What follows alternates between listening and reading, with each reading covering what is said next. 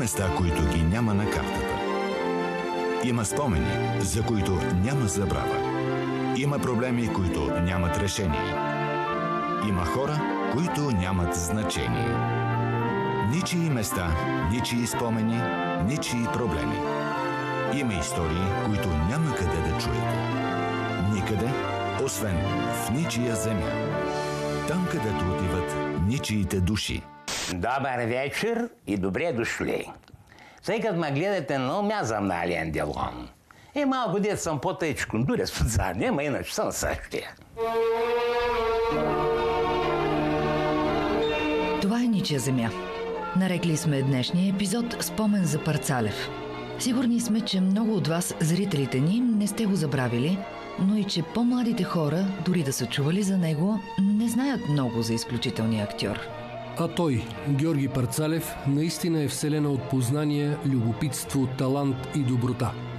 Играел е шумно, помагал е тихо, съществувал е достойно и е оставил много изкуство след себе си. Добър ден, Леко! Ти добре съм, какво ми? Не слад лошади. А добър ден сега! Не съм гладна. Ох, не те питам, гладна ли се ми ти викам да седнеш, че ми омръзна с занимавам с тебе по цял ден. Му!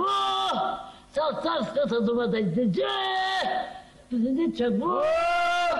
Са царската дума да изтече! А да носа чуеш, че да спреш. Ама не гледай ми вика като на глуха, не! Предстои да се смеем, но и да се натъжим заради жалките опити да се спаси огромното му наследство. Ще ви разкрием тайните, които големият Парцалев крие зад колисите. Какво стои зад деликатния му опит да пази личния си живот и да крие болестта, която го довърши.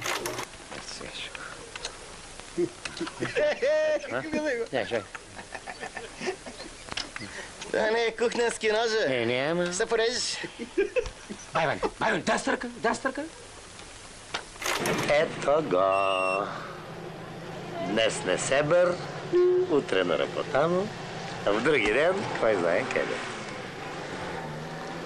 Колко му трябва на човек да е щастлив. Чичо Манчо, снехте!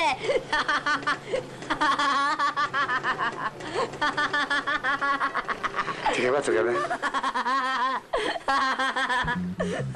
За този комик и човека на първо място ще разкажем сега. С помощта на ето тези хора, които са го познавали много повече от огромната му публика. Какво е да бъдеш близък роднина с, с Парцалев? Вие сте негова племеница, фактически. И може да се каже, че съм му племеница. Неговия баща и моя дядо са двама братя. Дядо Иван и моя дядо Панайот са братя. Ами, значи аз го познавам от малък, от дете, защото сме съседи по къщи. Звездо, казва Да. Парцалев. И Да. само той, само той те нарича така. Да, само той. Бе, как звездани Минко? Бе, Георги Барцалев. Бе, сега няма се лъжим. А, добър вечер. Но той става една много важна част от твоя живот. Ментор, приятел, спътник. С голямо доверие се отнася към, към теб. С огромно. И така 10 години. Цели 10 години бяхме приятели. Той ми даде телефона си. 43 88 80. Как не го забравям? Какво нещо? Какво беше първото, което с неговия глас каза на него? Помниш ли?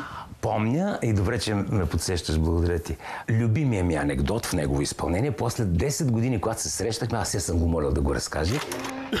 значи, на един нашенски поп, взели, че му откраднали велосипеда. Той срещнал а, свой приятел и споделил с него. Бе така и така откраднаха ми велосипеда, кажи ми какво да правя. Ми какво ще правиш, бе? Отиваш неделя в църквата, започваш да четеш десете Божи заповеди и щом стигнеш до заповедта не кради, ще изпееш.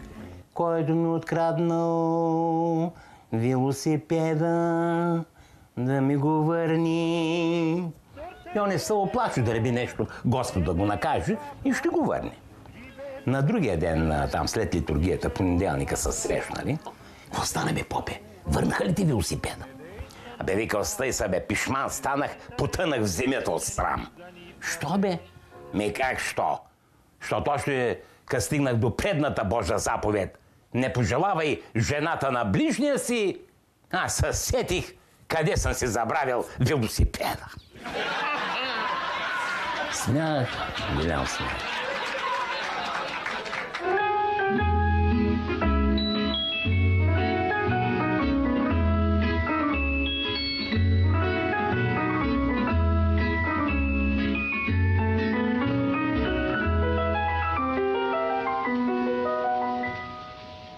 Започнем от там. От кога датира вашето приятелство с а, Парцалев и с неговата майка? Ами, значи аз го познавам от малък, от дете, защото сме съседи по къщи. И с баща му и майка му сме се виждали, докато си, си живееха в, в Левски. Летата си, си оставяше кучето на баща си, той да го разхожда. Аз съм бил дете и гарях в училищния двор. Това е онова куче, което, за което той остава и пари за кебабчета. Ама баща му не ги купува. Не. Ето ти кучето, ето ти пари за кебабчета. Ето. Ба, ще го рана с кебапи. Така казваше баща му. Да. Яла тук бе. Той имаше едно огромно куче. Вог.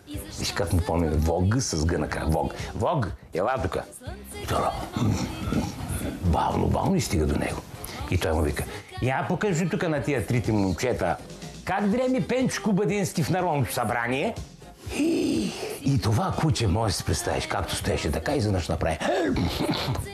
Затвори очи. Ама смях.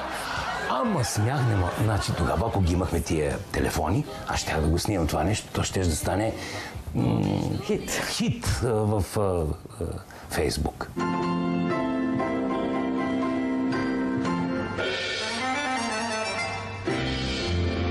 Какъв човек беше? Такъв какъвто го опознаваме от екрана, естествен, усмихнат. Естествен, да.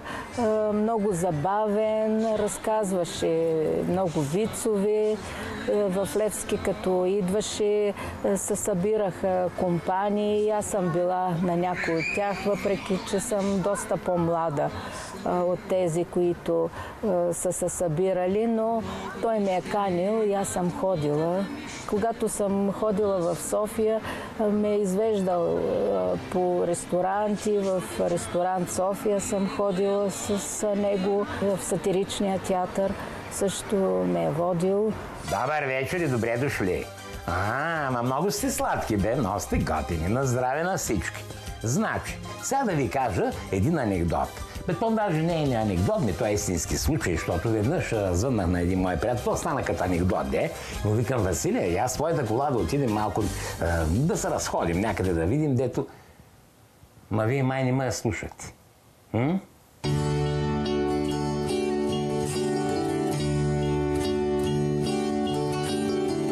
Никога не е завършил актьорско майсторство и въпреки това беше обявен за най-добрия актьор на България и, и най-богатия актьор на България. Откъде започва всичко? Еми, ако погледнем от а, неговата епоха, тя и Невена Коканова не е завършила. Петър Слабаков също, доколкото знам. А са имена оставили Дири. Не Дири, ами магистрал. А да изпием една парцуца, по няколко пътя. Но тъй, благодаря.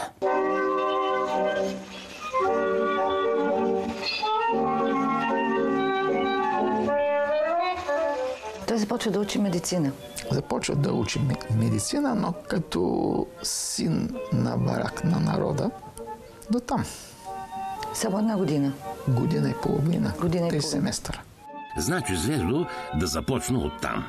Аз съм раждан в Левски. Едно време му викаха Гара. Сега му викат град. Бяхме много бедни. Ма много.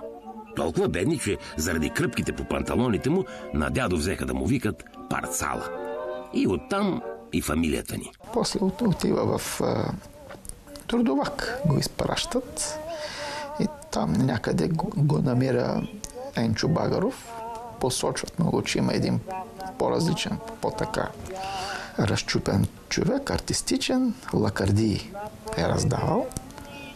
Вижда го и го кани в а, театъра на трудовата повинност, мисля, че се е казвал, и започват участие.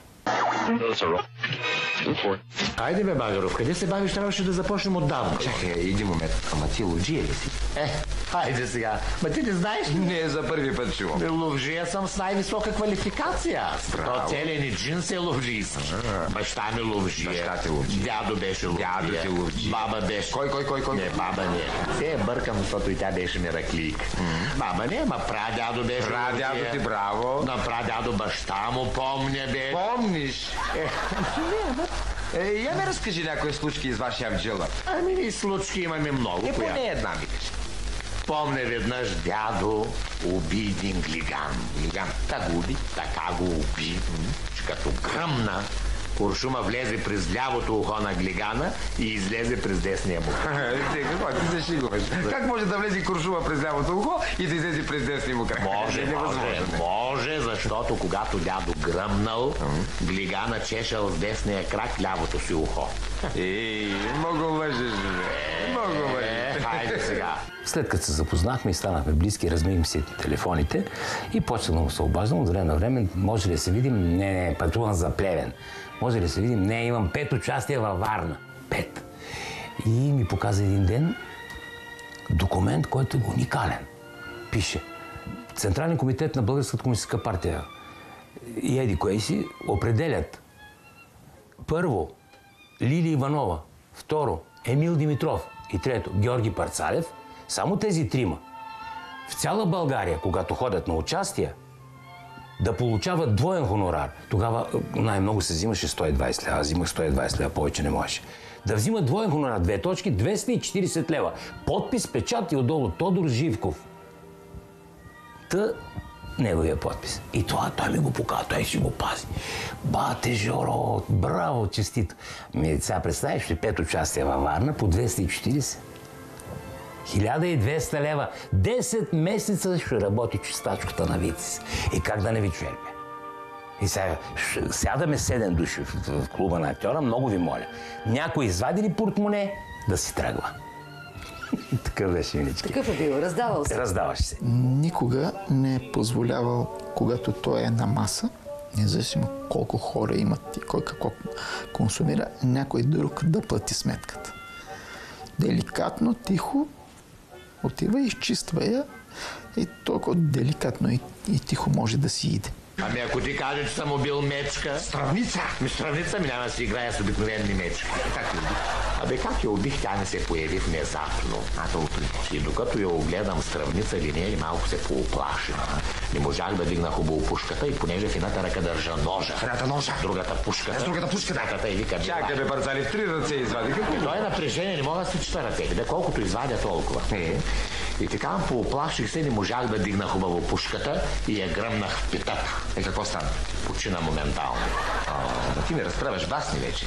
Как можеш да удариш мечката в петата и да загъртни, моля? Може, може, защото мечката, като ме видяла, пък се оплашила от мене и от страх сърцето и пада пики. И аз право там. Два през нощта аз се стана на, до, м, срещу Народното събрание, коня, дето е. И има една стоянка на таксита. И аз натиснах два през нощта. Чакам там да чуя женски глас. Обикновено жени бяха на смяна, обаче тя заспала жената два през нощта. Аз пак и по едно време. Моля! Ма такъв един за- за- заспал човек глас и така малко ядосана се едно, че я събуждам. Диспетчерката е да Диспетчерът е доста. И аз си викам веднага ми штуква. Викам, сега ако кажа с моя глас, няма ми обърне внимание. Абе, моля ви се, пратете ми едно такси на жълтите павета, че ми замръзна джугера. Утре няма да имам глас в театъра. Ма ще може ли, другарю Парсалев? Няма проблеми, няма проблеми. До няколко минути. Благодаря ви. Хъп и затвори. Маля, три или четири минути минаха. Боже, срещу мен две на кола, а то беше зимно време и леко е, заледен беше долу, бяха заледени тия жълтите плочки. И, и, и такси, и он я натиска спря. И е така се обърна. И спря. И он я отвори вратата. Абе, момче, да си виждал тук Георги Парцалев.